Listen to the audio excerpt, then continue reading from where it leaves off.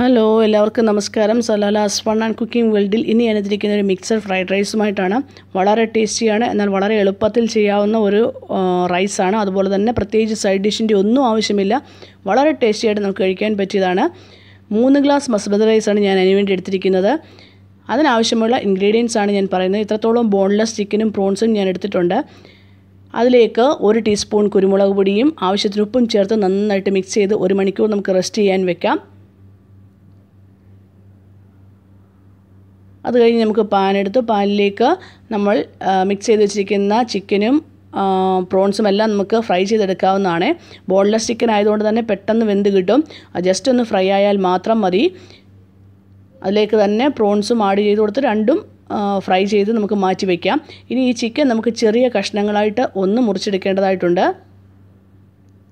ഇനി നമുക്ക് വേണ്ടത് ഒരു മൂന്ന് മുട്ടയാണ്. മുട്ടയും ക്കകത്തേക്കും കുറച്ച് കുരുമുളക് പൊടിയും അതുപോലെ തന്നെ ആവശ്യത്തിന് ഉപ്പും ചേർത്ത് നന്നായിട്ട് മിക്സ് ചെയ്ത് കൊടുക്കാം അങ്ങനെ നമ്മുടെ റൈസിന് വേണ്ടുന്ന മുട്ടയും ചിക്കനും പ്രോൺസും റെഡി ആയി കഴിഞ്ഞു. ഇനി നമുക്കൊരു പാൻ അടുപ്പിൽ വെക്കാം. അതിലേക്ക് കുറച്ച് എണ്ണ ഒഴിച്ചു കൊടുത്തിട്ട് ചിക്കനും പ്രോൺസും അതുപോലെ തന്നെ ക്യാരറ്റാണ് ഒരു മൂന്ന് ക്യാരറ്റ് ഞാൻ എടുത്തിട്ടുണ്ട്. അത് ചെറുതായി അരിഞ്ഞു കൊടുത്തതാണ്. ഒരു അര ഗ്ലാസ് ഗ്രീൻ പീസും കൂടെ നമുക്ക് അതിലേക്ക് ഇട്ട് കൊടുക്കാവുന്നതാണ്. അതിന്റെ കൂടെ തന്നെ രണ്ട് പച്ചമുളകുമേ. ഇനി നമുക്കൊന്ന് മിക്സ് ചെയ്തെടുക്കാം. നമുക്ക് സ്വീറ്റ് കോൺ വേണമെങ്കിൽ അതും ഇതിനകത്തേക്ക് ആഡ് ചെയ്ത് കൊടുക്കാവുന്നതാണ്. ഇനി നമുക്ക് വേണ്ടത് ഒരു അര ടീസ്പൂൺ മഞ്ഞൾപ്പൊടിയാണ്. ഒരു കളറിന് വേണ്ടി മാത്രമാണ് മഞ്ഞൾപ്പൊടി ഉപയോഗിക്കുന്നത്. മഞ്ഞൾപ്പൊടി ചേർന്ന് ഒന്ന് മിക്സായി കഴിയുമ്പോൾ നമുക്കൊരു അര ടീസ്പൂൺ കുരുമുളക് പൊടിയും കൂടെ ആഡ് ചെയ്ത് കൊടുക്കാവുന്നതാണ്.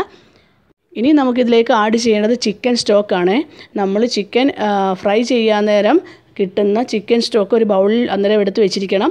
അത് ഈ സമയത്ത് നമുക്ക് ആഡ് ചെയ്ത് കൊടുക്കാവുന്നതാണ്. ഈ ചിക്കൻ സ്റ്റോക്ക് നല്ലൊരു ഫ്ലേവറാണ് നമ്മുടെ റൈസിന് തരുന്നത് കേട്ടോ. ഇത് ആഡ് ചെയ്യാൻ മറക്കരുത്.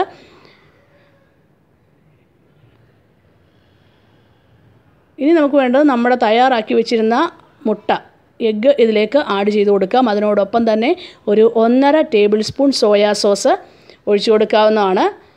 ഈ സോയാ സോസ് ഒക്കെ ഒഴിച്ചു കൊടുക്കുമ്പോൾ നമുക്ക് കടയിൽ നിന്നൊക്കെ വാങ്ങിക്കുന്ന റൈസിന്റെ അതേ ടേസ്റ്റാണ് വളരെ ടേസ്റ്റിയാണ്